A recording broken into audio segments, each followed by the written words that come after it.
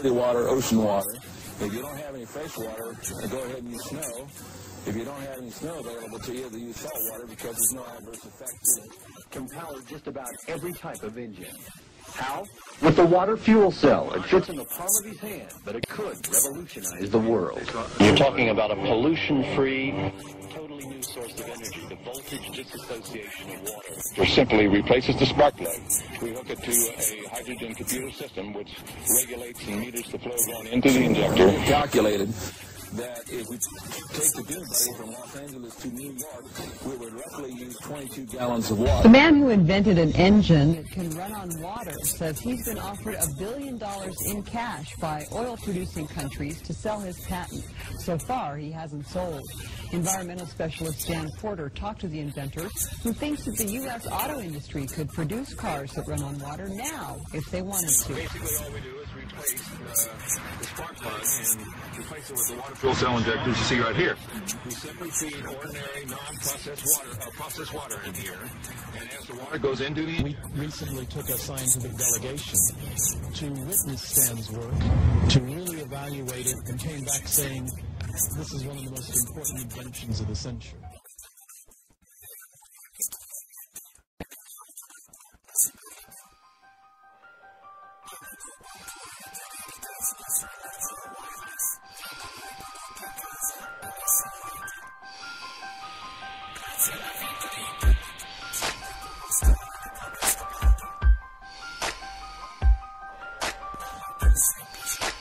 No wires. Look at It's that. a, it's a magnetic field that's causing that to light up, and that's from Y Power in Altamonte Springs, Florida.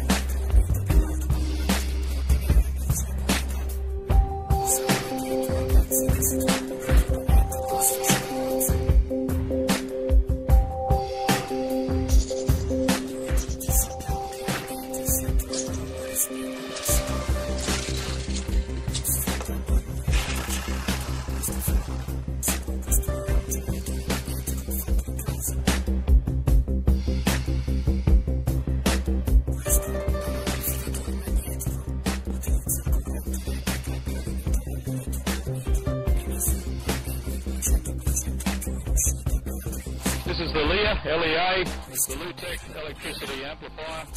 You see we're running a number of load, uh, lights as a resistive load on the right hand side. As we go across to the left, we see our meters. We take our DC input. The DC input in this case is 280 watts.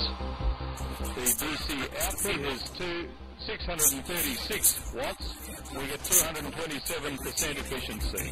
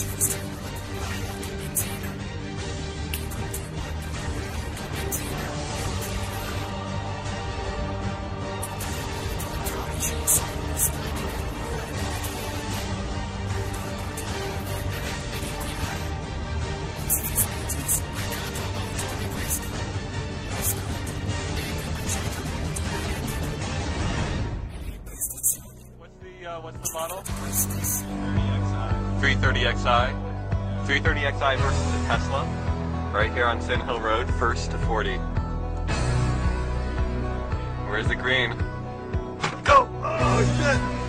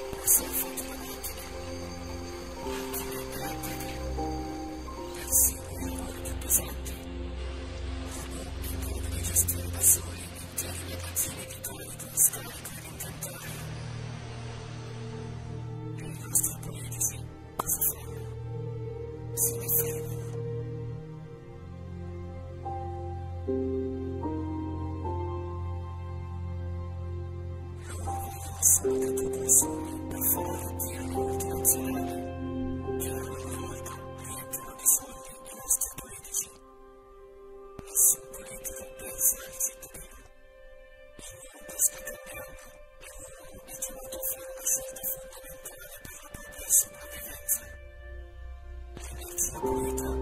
you.